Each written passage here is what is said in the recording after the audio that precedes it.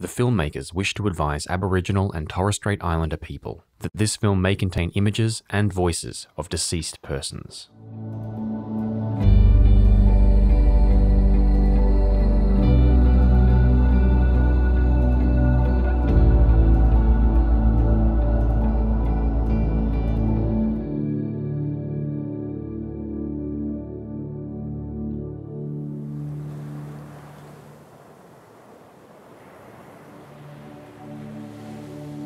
I come from Nanima Mission, which is just outside of Wellington, New South Wales. Growing up, I remember Dad drinking alcohol a bit. Police often came to the door. It was about picking Dad up. If he didn't make it home that night, it was probably because he'd been locked up. There was always domestic violence. And poor old mum, you know, sometimes I wouldn't recognise her. It was just like seemed a normal thing in our community. Get drunk, get locked up. When you've been someone who the police have turned up and taken your partner, you don't get to see them again until you either meet them at the police station or that you see them in court, then you've got to go and visit them in jail. You become quite angry and you isolate yourself from people and you don't want to talk about it because people judge you I was invited to a ladies' weekend where they had been supporting women who had someone in jail. I met all these lovely ladies, and I never really even thought that there were non Aboriginal people in jail.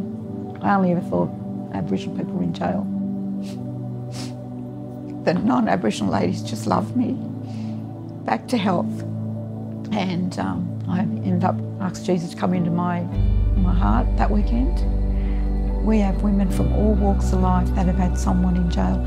We've had women from all ethnic backgrounds that have had someone in jail. The thing that I want for other women is just to know that someone cares, someone loves them. I hope that they can see some reprieve and I hope that they can just connect and be able to talk about their experience if they want to. It's very healing to know that someone's willing to listen to you and not judge you. I just want the, the army to be accepting of our people and not just think, oh, we don't want to worry about what's happened in the past. We treat everybody the same because it really isn't treating everyone the same. Some people need a little bit more love. And if I hadn't got that little bit more love, I probably wouldn't be sitting here now. You've got to go the extra mile.